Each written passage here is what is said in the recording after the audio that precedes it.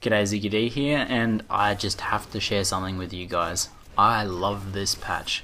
Ever since patch 1.0.5 hit, I've been having, well, not amazing luck like other people, but I've actually been having a lot of fun and actually finding upgrades. So you may notice from this video here that uh, this build's a little bit different from what I showed in my last uh, build explanation video yesterday.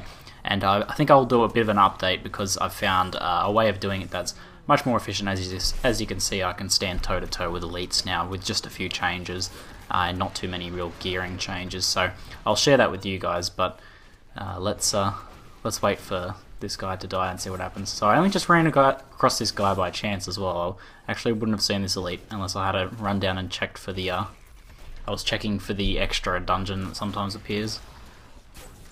I can pretty much tank all this stuff just uh, Still not a good idea to standing arcane lasers and things like that, but here we go. hand crossbow. I'm like, what hand crossbows? I level 63. Oh, I like, I like, oh man, I bet it's going to be terrible, but I, I just hope it has life on hit because I really need life on hit for this tanky build, so I'm like, okay, wait. Alright, so we'll pick it up. Alright, I sort of like hesitate and then, wait, I recognize that picture. I think that's Danetta's spike, which I was actually saving up to buy. Holy crap, it's a massive upgrade. awesome. Now, was actually this is actually the more expensive of the pair too. There's two uh, hand crossbows in the Danetta set, and this is the one that usually costs much more. And it's pretty decent. It's got good crit hit damage. You know, no sockets or anything, but uh, good, really high dex roll actually, uh, almost 300. Uh, the the max discipline, which is nice to have for chaining those uh, things to get uh, the gloom together.